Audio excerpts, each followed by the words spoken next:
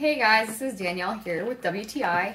And my life right now um, is doing virtual school with my kids. And I want to make it fun because this is the year my kids are young. I have a preschooler and a kindergartner. I want to make them enjoy it because they're missing out on so much, I feel like, right now.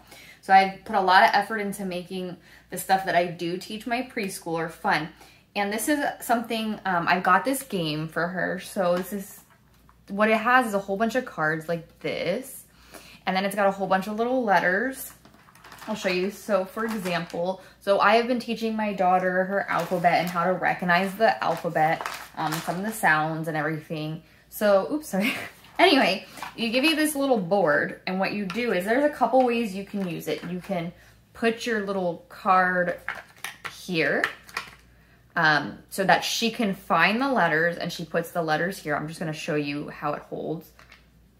So you put the letter like that on there and then she can spell out the word. And for my kindergartner, how I can use it for her is since she already knows her letters and the sound, she's to try and spell out the word cat. So I just flip it to the back so it kind of hides it. So she'd have to sound it out like at and sound and, and spell it out. So this is fun. It came with a lot of cards. And this is a really fun way for my kids to learn things. Um, so for example, bag, pig, cup, tub. And it, it, gets to some bigger words like this one, pearl is a longer word. Oh, knife. Yeah, they do have a knife in there. Just, you know, there's a couple of little weird ones, but still, I mean, it's important to know. We have like frog and drum. Anyway, I like this. It was a really great teaching tool, and that is my point of view.